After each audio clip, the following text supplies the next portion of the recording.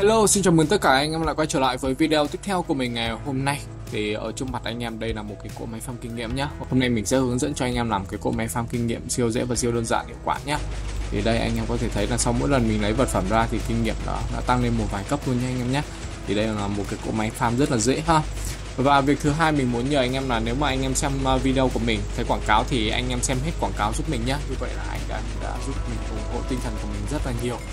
Rồi thì sau mỗi lần anh em xem hết quảng cáo thì uh, cái uh, doanh thu của mình nó sẽ cao hơn một xíu thôi anh em ạ. Ok bây giờ chúng ta sẽ cùng đến với phần nguyên liệu nhé anh em chuẩn bị cho mình là tre uh, xương rồng thủy tinh rương piston dính.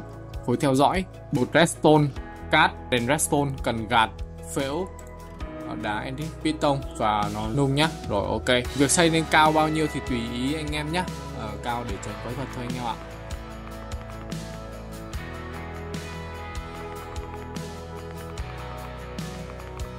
Sau khi mà anh em xây xong cái sàn rồi thì anh em giúp mình là xây lên một bên là cao hơn 3 block và một bên là sẽ cao hơn 4 block nhá. Và sau đó thì anh em cứ xây y chang như mình luôn. Xây hai bên y chang như mình nhé anh em nhé mọi người cứ làm theo y chang như mình luôn anh em ạ.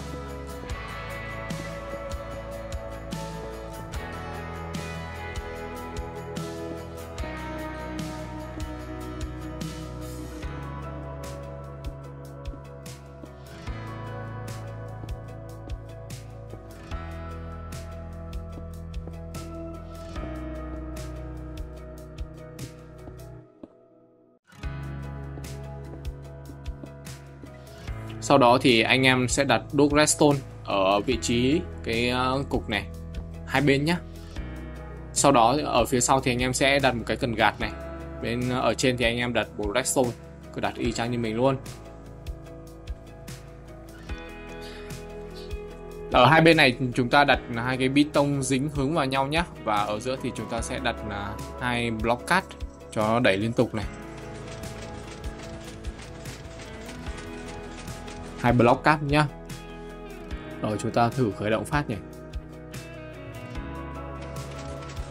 Đó, thì nó sẽ ờ, chỉ được một bên ha. Anh em muốn hai bên thì anh em giúp mình là đặt piston theo hướng của mình nhé đặt hai đầu trên đầu dưới này. Rồi, khởi động thử xem nào. Đó, anh em sẽ thấy cái khối cát ở giữa nó gần như là không di chuyển luôn nha anh em nhé như vậy là thành công rồi đấy còn ờ, ở cái bên cạnh thì anh em cũng làm y chang như vậy luôn. Build y chang như vậy cho cho mình nhá. Anh em giúp mình là đặt cái khối theo dõi này cái mũi tên nó hướng lên trên nhá. Sau đó đặt một lóc và một cái piston cái này để ví dụ như tre nó lớn lên thì nó giúp đẩy tre và xương rồng lớn lên thì nó đẩy uh, cái xương rồng vào cái phễu để cho nó dẫn xương rồng và cũng như dẫn tre xuống cái lò nung của chúng ta việc tiếp theo đó chính là đặt lò nung nha anh em nhé. Cái lò nung này thì anh em sẽ đặt hướng của cái lò nung này sang bên cao hơn nha anh em nhé. À, sau khi mà đặt lò, lò nung xong thì anh em sẽ tiến hành nối phễu nhé. Nối phễu thì cái phễu ở dưới này đó thì mọi người sẽ nối một hàng cho nó hướng vào cái lò nung nhé anh em nhé cái hàng này ấy, thì nó sẽ cung cấp nguyên liệu chất đốt là tre cho cái lò nung này. Sau đó thì mọi người giúp mình là nối thành một hàng như vậy. Nối các phễu ở trên lại với nhau nhé đấy hướng như vậy thì nó sẽ giúp uh, cho mọi người là nó sẽ chuyển nguyên liệu nhé ở đây thì mọi người đặt thêm một cái phễu nối vào. Rồi ở trên này đặt một cái rương và một cái phễu nối vào cái rương luôn.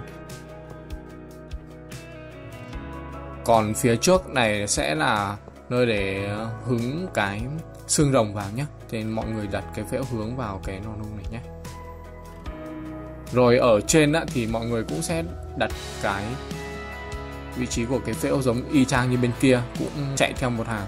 Cái hướng của cái phễu thì nó nối vào nhau thì nó sẽ, dẫn, dẫn nguyên liệu nhanh em nhé nhớ là hướng theo một hàng nhé thì một lát nữa thì nó sẽ dẫn nguyên liệu và di chuyển nguyên liệu đều rồi mọi người sẽ giúp mình nối cái phễu này, làm sao cho được qua bên kia. Thì cứ hướng mấy cái phễu vào nhau thôi, đừng có nối nhầm với sàn bên cạnh nha. Hơi bị hại nếu mà anh em nối nhầm đấy.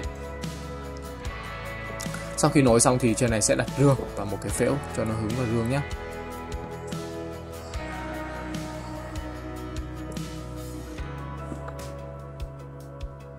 về cơ bản thì mọi người đã hoàn thành cái cỗ máy này rồi nhá sau đó thì chúng ta sẽ test thử một vài phát ha. Ở bên cao hơn mọi người đặt xương rồng và bên thấp hơn mọi người đặt tre nhá. Mọi người test ờ, thấy như vậy là ok này. Đó.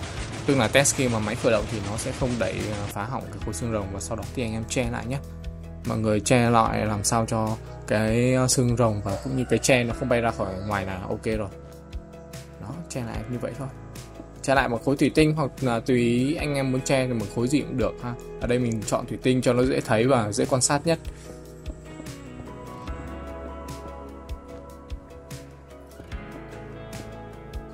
Đó, như vậy là đã ok rồi nha.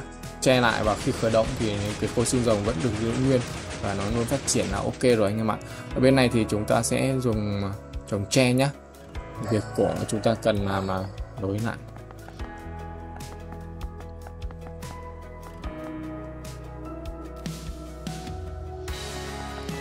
Nối lại để nguyên liệu nó không bị rơi ra ngoài nữa anh em ạ. Rồi, ok, như vậy là xong. Đó theo một đòn luôn đã hoạt động rồi hai anh em ha. Giờ của chúng ta sẽ làm là ngồi không làm mà đòi có ăn. Không phải đâu, anh em ạ. Chúng ta đã build xong cái cỗ máy rồi, ha. Bây giờ chúng ta sẽ ngồi đợi và à, chờ kinh nghiệm thôi, anh em ạ. Đấy, cái quá trình nung của chúng ta vẫn đang diễn ra và khi mà diễn ra thành công thì chúng ta sẽ lấy cái bột nhuộm màu xanh này ra à, đồng thời chúng ta sẽ có kinh nghiệm cho bản thân mình ha